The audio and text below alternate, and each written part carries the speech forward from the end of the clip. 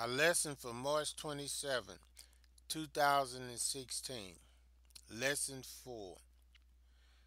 Unit 1 Tests of Faith. Our lesson title is Holding Strong to Belief. Our devotional reading is taken from Psalms 23.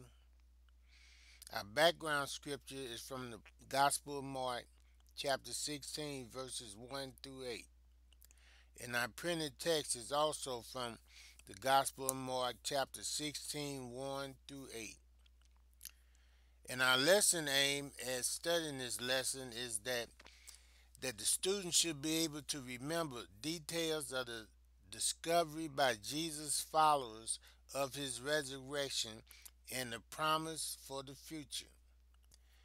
That they should feel the devastating loss experienced by the women as well as the relief that comes from understanding how faith in God helps Christians survive their losses. And finally, that they should be able to tell one another stories of grief and encourage and strengthen one another with assurance of good things to come through Jesus Christ holding strong to beliefs.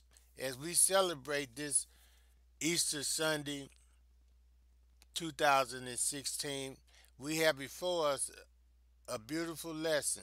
And we have in our lesson where we see where that we are brought to the events after the Lord Jesus was crucified.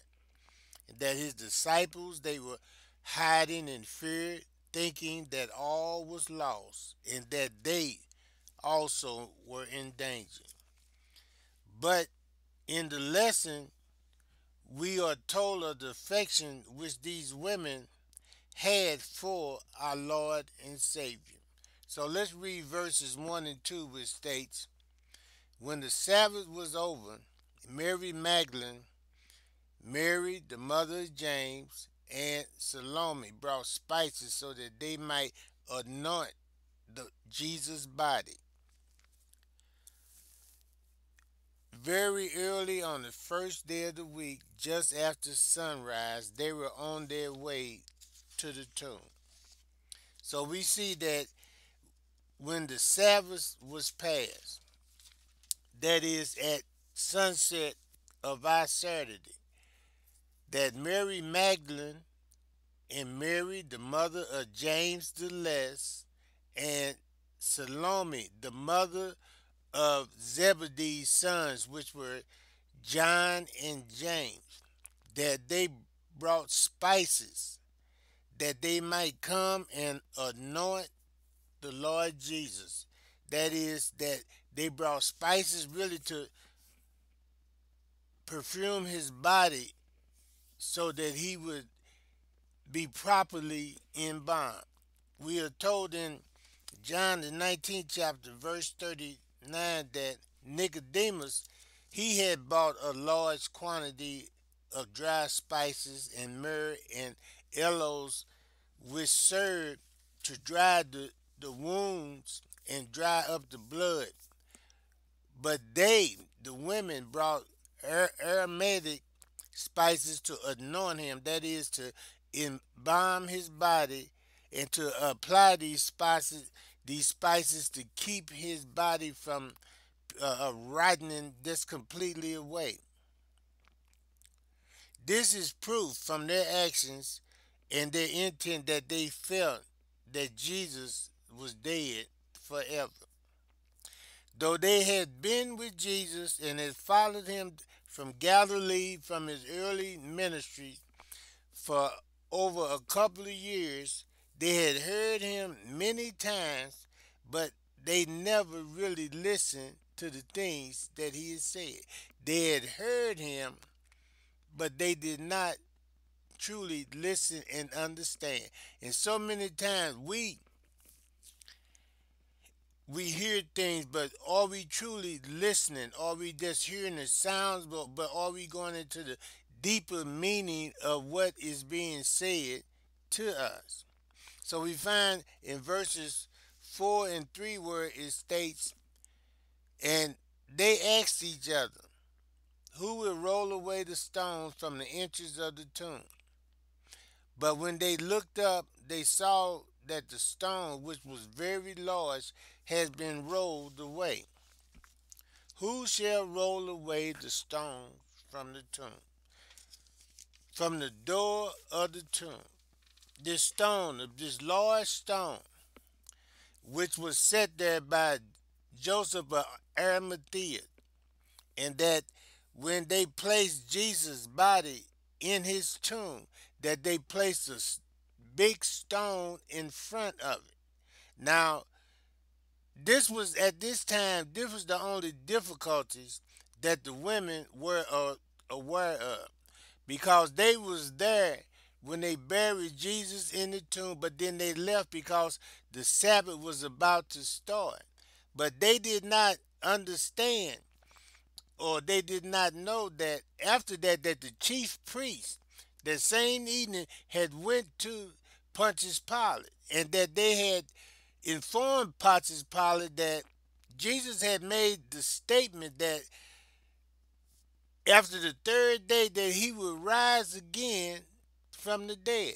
And so the priest asked Pontius Pilate to place a, a guard there in front of the tomb so that his disciples would not steal his body and claim that Jesus has risen. So Pontius Pilate put a, a squad of soldiers there. Then he also put a, a, a seal on the tomb, signifying the seal of Rome that if anyone messed with this, that they would have to endure the wrath of the Roman Empire. But in the other Gospels, some of the Gospels says Matthew how that an angel appeared, and how that an angel appeared, and that the guards that was there, that that they were that they were frightened, that they passed out, and, as men that's that that has fallen dead, and that out of fear they got up and fled, and that the angels rolled away the stone, and so the women unaware of this, they had set out to do what they heartfelt love for Jesus called them to do, to see that he had a proper burial. Now, if they had known all this, in all likelihood, they would never have attempted to go there. See, because they would have known that the guards would not have left let them in, and so there would have been some sufficient discouragement, you know, but all their concern was was right now or was how they was gonna roll away that stone that laid at the door of the tomb. It tells us, but when they looked up, they saw that the stone, which was very large, has been rolled away, which was the first thing that amazed them. You know, we have to understand this and, and realize that, that those those that who are carried about with a a holy and, and, and a love and a zeal to seek Christ diligently and to do the will diligently, that those who, who trust in God and not lean on their own understanding, but regardless of the situation, that they we want to do the things that are pleasing to the Lord. Many times we we'll find that difficulties that has laid in our ways strangely vanished. We see, we could testify, many could testify how the Lord made a way out of no way and that how that it was it it was beyond our own strength and ability how that God has helped us do things beyond our wildest dreams. And so here God had prepared a way for them. They was wondering how they was going to do this. Though they was women and, and no man was with them and that with their all their combined strength, they knew that they would not be able to roll away that stone. So when they looked up, they seen that God had already made a way. And so we need to learn how to trust in the Lord and not to lean to our own understanding, but to acknowledge Him in all our ways. And what the scriptures say that what He would direct our path. So they find that the that the stone was removed from the door of the tomb, and we find in verse five saying that as they entered the tomb, they saw a young man dressed in a white robe sitting on the right side, and they were alone. Entering the tomb, they saw a young man. It was an angel, appeared in the likeness of a young man, and that he was clothed with a long white garment. And they saw that the body of Jesus was not where he they had left it the other night. And they said the scripture saying, seeing him, the young man, the angel sitting there, they were frightened. They were alone.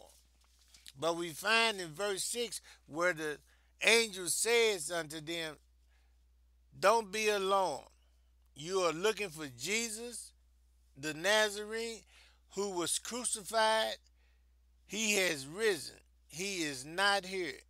See the place where they laid him. Be not alone. We find in Luke, the 15th chapter, verse 10, where Jesus says, That I tell you, there is rejoicing in the presence of the angels of God over one sinner who repents. Just as angels rejoice in the repentance of sinners, they also they do also in the consolations of sinners, the confidence of sinners. He tells them, Don't be alarmed. Fear not. You lovers of Jesus, fear not. And so instead of them being confounded and bewildered because the body is gone, here the angel tells them to be comforted. Be comforted. Why? Because ye seek Jesus of Nazareth, which was crucified.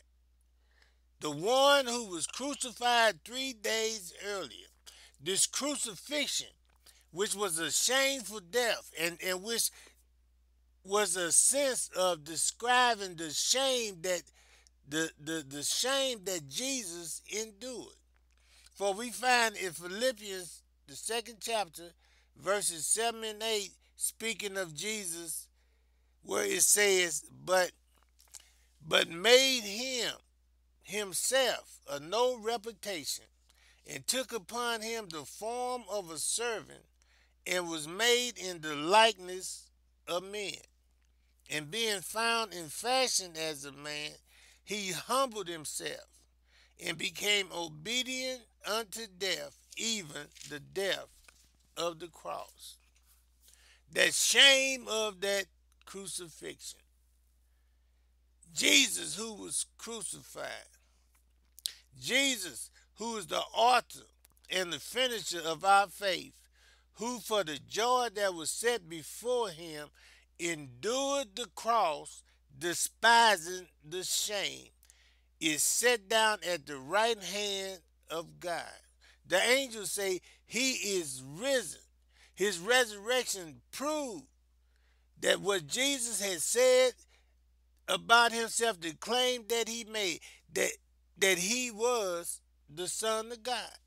Romans 1 4 says that Jesus is declared that it, it is shouted out loud that he is declared to be the Son of God, the God with power, according to the Spirit of holiness by the resurrection from the dead. He was crucified in shame, but now his resurrection, he is glorified. Therefore, instead of those women being confounded and alarmed and fearful, it should be good news to them to hear that instead of anointing him because of death, they may rejoice in him because he is alive. This is the story that we need to comfort people with. We need to comfort people with not so much about the the the material things, about the blessings, but this is this is what the gospel is. Simply is that that that Jesus died for our sins according to the scriptures, and that he was buried, and that he was raised the third day according to the scriptures. That is the good news. That word gospel means good news. What that that he is risen. Why is he risen? Because he paid our debt in full. The good news is that Jesus came to die to pay a sin that we could not pay ourselves. That the best of us, regardless of, of who we might think we are, or the credentials, credentials or the pedigree or the wealth that we might have, that that that's a debt that even the the best of us could not pay. And so the good news is that God loved us so much that he sent his son to do for us what we could not do for ourselves. And so, after assuring them that the one that they seek, Jesus of Nazareth, that he is risen, the angels instruct them. He says, but verse 7 But go tell his disciples and Peter, he is going ahead of you into Galilee.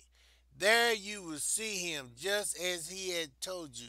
Jesus had had told them time and time again that that he must die and be buried and raised and raised the third day, and that he would meet them in Galilee. Peter had confronted him when Jesus told him that. Surely, Lord, thou must not die.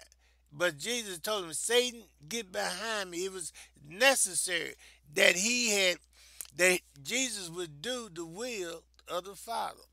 But the Lord also had told Peter, too, that Peter, Satan desires to sift you like wheat. But he said, I have prayed for you that your faith fail not. So now the angel is telling these women to tell his disciples and Peter that he is going before them. Here, Peter is singled out for special notice. In this, we see, if we would look at this, we, we would see the kindness and the mercy and the forgiveness of the Lord. Though all his disciples, not just Peter, but all his disciples, except John, they had fled out of fear and forsaken him. Peter, just before the death of Jesus Christ, the one that stood so boldly and before everyone and claimed with his chest puffed out all, all out, Lord, if these rest of them will run off and leave you, Lord, I will never leave you. Lord, I will die for you. Peter, the one that followed Jesus to his trial, as he stood out there in the court, he denied, courtyard, he denied Jesus three times. Jesus. He denied Jesus three times. That Peter, after bragging on his own might about his great love for the Lord, that he denied him three times. That's why it is important for us to be careful.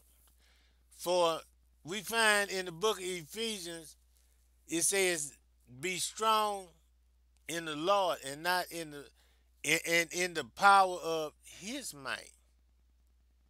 For we wrestle not with flesh and blood, but with spiritual wickedness in high places. So we have to understand that we cannot wrestle with the devil. We cannot stand against the wiles and the schemes of the devil, of our own might and ingenuity. That's why it is necessary for us to be strong in the Lord. And that what we have to do what? Put on the whole armor of God. And so Peter trying to be with the with the best of intentions, but he failed. And so now we see that even after this, Jesus sent a special message that that that to tell his disciples and Peter. See, but Jesus still loved Peter. Having loved him once, he loved him unto the end. That is one of the things that we have to understand about our Heavenly Father and our Lord Jesus Christ. That that they have an unfailing love, regardless of how we might fall short. But but the Lord, He loves us with, with a love that it, it is even hard for for human beings to comprehend.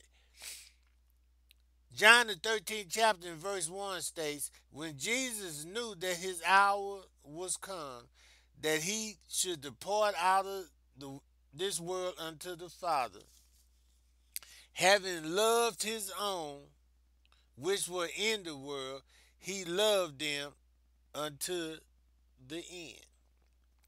And so, as proof of his forgiveness and that he still loved Peter, he sent this special message the assurance that though he had denied him, yet he has risen and was still his Lord. That goes for us too. When we fall short, when we sin, the Bible says that if if we confess our sins, that he is faithful and just to forgive us of our sins and to cleanse us from all unrighteousness. Sin breaks fellowship in with a Christian. I'm speaking of Christian. It does not destroy relationship, but it breaks fellowship. And that and that just as a loving father, it says that the Lord chastised those that he loved. So our heavenly Father, when when we fall into sin and refuse to confess our sin, then he chastises us, but he still loves us. See, that's why we have a Savior that who can save us to the uttermost. Why? Because he lived to make intercessions for the saints. Because whether we want to admit it or not, we all fall short. We all have done things and will do things that are displeasing to the Lord. Now, just as Peter stood there and denied the Lord three times with his mouth, many of us, many of us, we denied the Lord not by so much with the things that we say, but with the way that we live and by our actions. Verse 8, he tells them, after he tells the women to go and tell Peter and the disciples, verse 8 says, Trembling and bewildered, the women went out and fled from the tomb, and they said nothing to anyone because they were afraid. I imagine, I can only imagine that this was a, a, a, a amazing, a, a, big shock, and that these women, that they were not, they're so fearful of seeing an angel, but but the circumstances that that surrounded this event, that they had seen, they they was there at the cross. When when when Jesus when they seen him die, they was there when they seen the soldiers stick the the spirit in his side. They was there when they Joseph of Arimathea came and, and pleaded with Pontius Pilate for his body, and they went with him and Nicodemus as they wrapped Jesus in linen and put a hundred pounds of, uh, uh, of spices in that linen and then put him in that tomb and rolled that rock in front of the tomb. And so now here they come. The rock is removed, it's an angel sitting there, and Jesus is gone. And so now he tells them to go and tell the disciples that your Lord is risen. So they left there trembling and and and they didn't say nothing to anyone because they were afraid. We today, as disciples of Jesus Christ, we today, as Christians, we are not to be afraid, but it is our responsibility to do what? To be a witness for Jesus Christ. For because the Lord had told us to what? That we will receive power. That is the Holy Ghost. And that we are to the Holy Spirit, the Holy Ghost, that we are to be his witness to the uttermost parts of the earth. There is no need for us to be afraid. Though people laugh, though people criticize, and, and, and though people say, well, they are, you know, different uh, modes or different ways, no, we are to be a witness to Jesus Christ.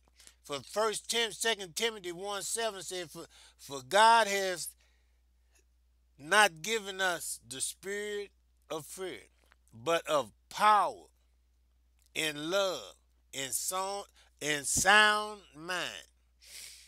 Be not therefore fearful of the testimony of our Lord, that he is risen. That he is risen. We can rejoice and, and we can rejoice in our faith and we can hold on, hold on strong to our belief, to our faith. And what is the basis of that what we stand on is that is that Jesus who was delivered for our offenses was raised again for our justification. And he is alive in heaven today. And that we have a high priest that we have an intercessor that that we have a savior who is there and he's there to help us in all our time of need. Why? Because he understands he was tempted in all points as, as we, yet without sin. Therefore, he can make intercessions for us, holding on to our faith. He was delivered for our offenses, and, and he was raised for our justification. May God bless you and keep you.